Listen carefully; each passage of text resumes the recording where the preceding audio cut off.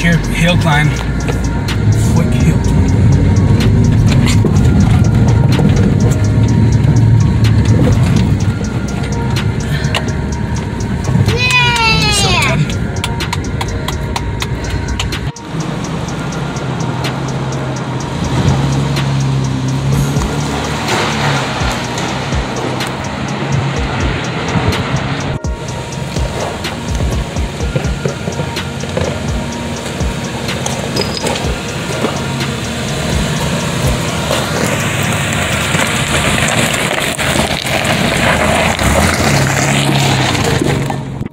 Hello guys, this is Fun Automotive here, showing you guys my Jeep Liberty that I currently own as of now.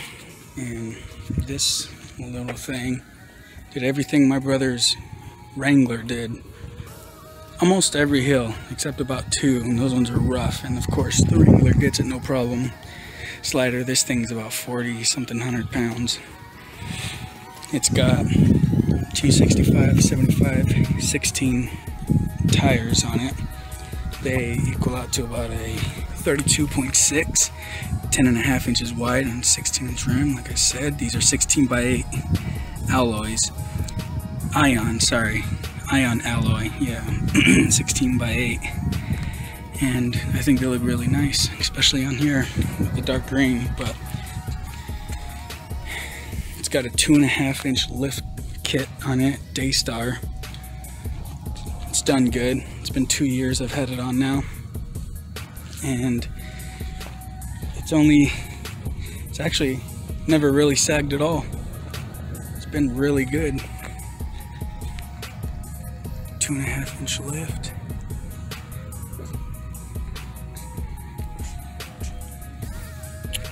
Alright, and right here I have the upper control arms, the JBA upper control arms, and that's the spacer in here, right there, for the front, and I'll show you the rear spacer spacer as well. Right there, big old ugly thing. Yeah, it's a it's a budget lift, cheapy, but it gets the job done. And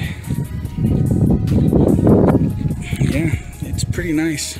The interior is nice. I'll show you the interior. It's got the 3.7 liter V6 PowerTech.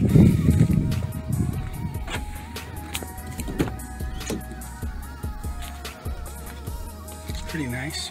Pretty good. Got the seat covers on them. I don't like these seat covers or those mats, but they're in it when I bought it. The four low in this works really well too. Really well really, really well. But all in all, I like these Liberties. They're pretty good. People crap talk them all the time, which I understand. You know, it's got independent suspension. You just can't lift them that high because you have to do all sorts of stuff with the independent front, and then you got some triangle control arm thing underneath the rear end, and just not the good not the best. It's hard to lift. It's just really hard, and you have to do things, certain things to them, unlike a, an actual solid axle, you know, like a Grand Cherokee, like this thing, my wife's, which we're gonna put a lift on and fix up soon and get it repainted. And it's, you know, everything's good. So this is my video. This is Fun and Automotive. Please, hey guys, this is Fun and Automotive here. I just wanted to do an update for you on the Jeep Liberty. So let's get to it. Okay, so the Jeep Liberty, as you remember in my last video, the two and a half inch lift Jeep Liberty video, I said I was gonna upgrade to a Jeep Grand Cherokee WJ because you know the solid axles and stuff, but these Jeep Liberties are just fine. I don't even know why I was really thinking that so bad. Yeah, it does have front independent suspension, of course, but it's got 373 gear stock, so I could run a 32, no problem.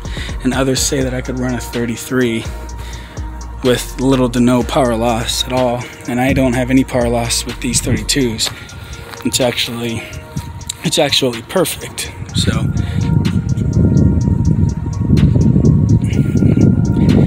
decided to just keep it and do what I need to do, lift it. I'm planning on throwing two more inches on top of this two and a half inch lift, so four and a half altogether. I'm throwing some 33s on it. I'm going to be going with a 295, 75, 16, which is a 33.4, I think, and it's an 11 and a half inches wide, 16 inch rim. So I'll be giving you guys that update when I do it. I got to do a two inch subframe drop whenever I start that whenever I start that lift. Two inch subframe drop. After I do the two inch subframe drop, then I'll be able to lower the shock a little more lower on the fork. Let me see if I can get that because this fork right here, this whole fork right here touches the axle. I've already tried it. It touches the axle. This part's too far down. So I gotta do a subframe drop, drop all that lower, and then I can put that two inches more and I should be able to be fine. But I might have to put an extension between the, the hub and the upper control arm ball joint. I may have to put an extension right there because it may be too low. It's going to be touching the spring if it goes down any lower. So we'll see. I'll let you guys know whenever I get to that point and how I bypassed it and what I did. So, yep, just letting you guys know that's what I'm going to be doing.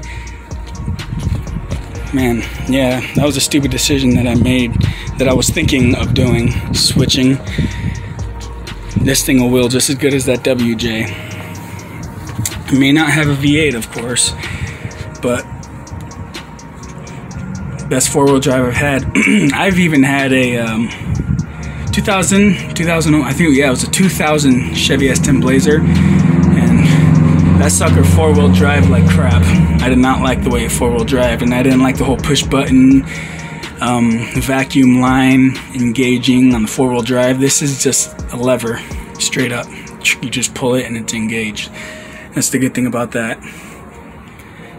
So yeah, I love this Liberty. I'm probably never gonna want to get rid of it, especially when I go up two inches higher two, two and a half, two inches higher, four and a half overall, or a little bit more with a 33 inch tire. It'll be definitely a little bit good amount more, you know, an inch or so. And um, yeah, I'll be doing some more off-roading videos as it is now before the lift. And um, I'll be showing you guys after the lift and the four-wheel driving videos with that. So stay tuned.